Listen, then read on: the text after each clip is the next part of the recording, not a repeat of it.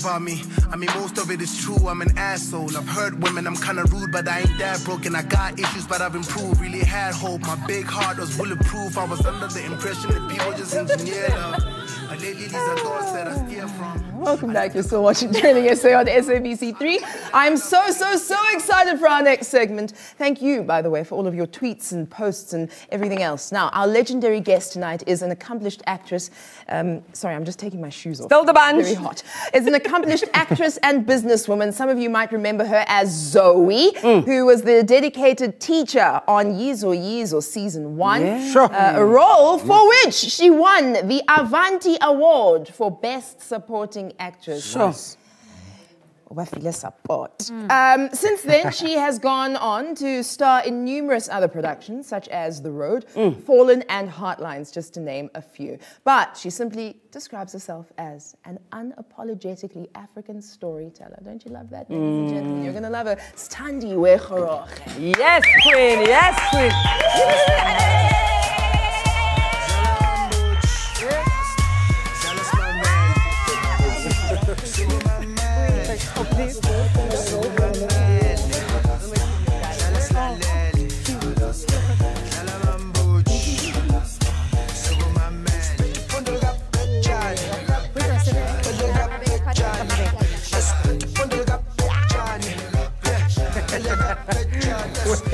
Well, I mean, a variety of things. We want to say everything. We want to do all the things. First of all, you look amazing. Oh, thank you, ma'am. Thank you. Oh, Obrigada. thank you. It's really good to have you here. Thank you, guys. All right, let's start a little bit at the beginning, right? Um, born Yeah. KZN. No, born in Ohio. All right, so, and then Yeah. what? Uh, oh, your family originally Yeah, comes from KZN. Okay, so that's, KZN. that's the thing. And then so uh, you're raised in all of these environments Yeah. internationally where the faces reflected to you aren't the faces that you see when you look at yourself in the mirror. Yeah. So tell me about some of that identity, you know, grappling with, with Ohio. that. Yeah. No, Ohio, I don't really remember because Mm. obviously I came back at three. And from there, we lived KwaMaphumulo, which is northern KwaZulu Natal. Okay. And then Canada. Canada, yes. Those are the images you're seeing now with my brothers in the snow. Oh my gosh. um, so you can imagine, it's, it's Edmonton, Alberta, Canada. Whoa. You hardly see another brown person. Mm. Every time you see them, it's like, Yeah. they're also like, "Ebo, I don't know I don't you. know you. Yeah, I don't know you. You know. so yeah, and that's why um, representation was so important at a very young age. As the moment I just saw someone who looked like me, it was literally a big deal. I remember seeing this girl at school. I went to Hazeldean, Hazeldean Republic School, mm. and um, she was like probably four grades ahead of me. I went up to her. I was like, "Hey, how are you? Those girls are picking on me." And she's like, "So go sort them out." I was like, "Okay." So you, You know, thought you'd I found an would be ally. on time, like, mm. yeah, yeah. sister. Yeah. Yes. Mm. That's so interesting. That's so interesting. And the story about the the The towel, towel, around you your know head. that. Because everyone I saw had beautiful long mm, silky hair. Mm. So I would get home, literally put some socks into Oh yes. Mm. Mm-hmm. and the white towel. That has no color. Yeah, no, that, that has no, No color. color. and I'll put a long towel around me and act like Cynthia, my best friend, who had this gorgeous, you know, um, mm. lo- beautiful long hair. And because for the longest time I wanted to look like everyone else, mm. and that was the cool thing to look like everyone else. No mm. one had my hair that was this short that my mom made sure that she cut because she couldn't maintain it in Canada. There weren't enough products, or if any. So, um, so interesting. But it was interesting. interesting that through that, my parents were that voice who kept on trying to reaffirm me. But if you know, you spend most of your time at school. Yeah, Mm. yeah. So mm-hmm. all you hear most of the time is, you know, this. Mm. How come your skin's like this? Mm. Oh, look at Sthandi's hair, skin. You know, so yeah. Unbelievable. Sure. So your evolution then into this prolific actress. um, but then more than an actress, because you're quite an activist for, you know, heritage, for culture, and of course, being a businesswoman as well. So talk to me about that evolution in your life and career. That was organic because I think I've literally always been that uh, person. I've always been selling something. On campus, I was that kid getting secondhand coats and selling them to uh, the Oh, kids wow, from Joburg really? in Pietermaritzburg. I went to UKZN in Pietermaritzburg. Very so, clever. and that's my mom because she was a nurse, and then um, that person for me who would use whatever platform and space that he had in his own studios in Mali to just really try and give beauty to you know a dire uh, um, condition whatever Yeah. the conditions were of the people there. That's why when you look at all his pictures in terms of what Malick Sidibé was doing in his studios it would be people who weren't who weren't who didn't really even have money.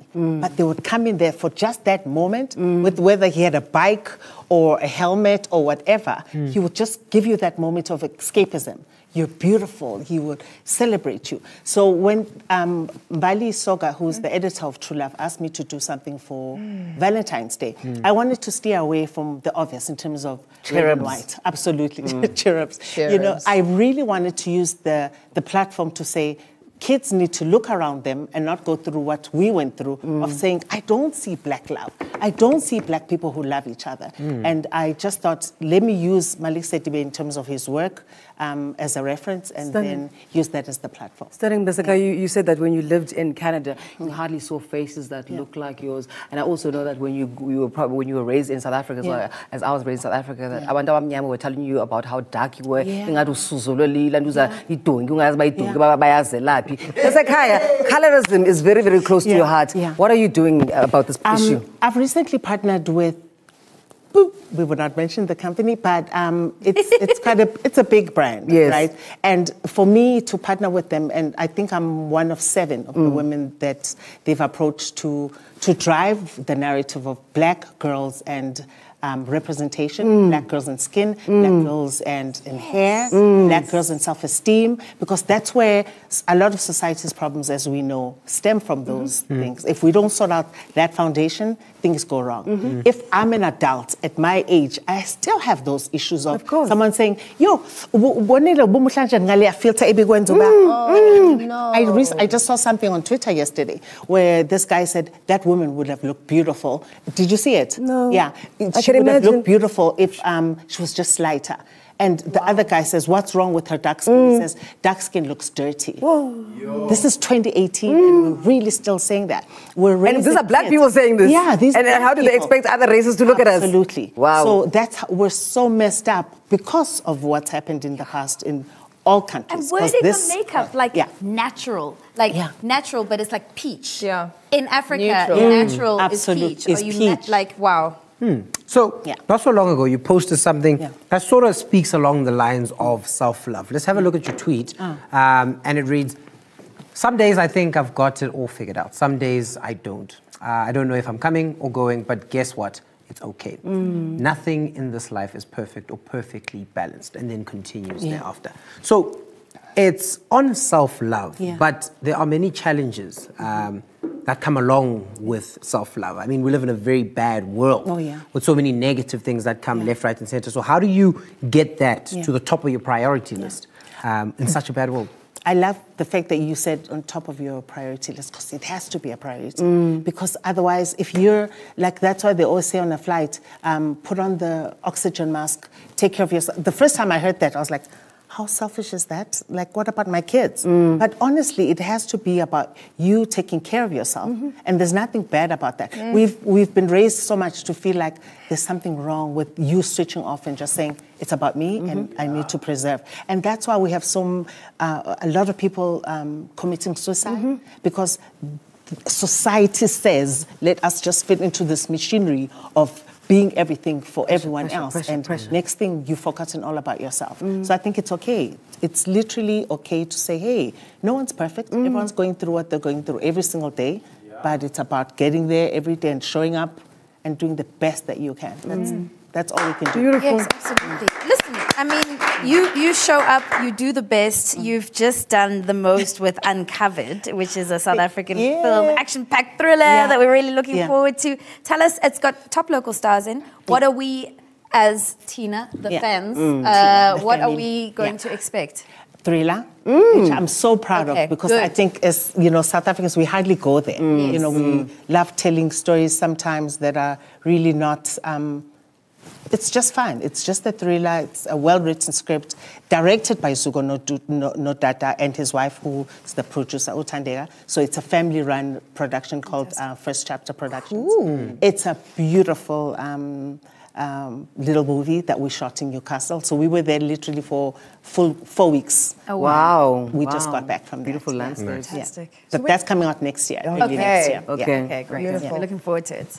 It's Heritage Month. Yes. I'd like to hear your thoughts as a storyteller, as you know, somebody who really believes in identity and heritage being so important. What are your thoughts in this month?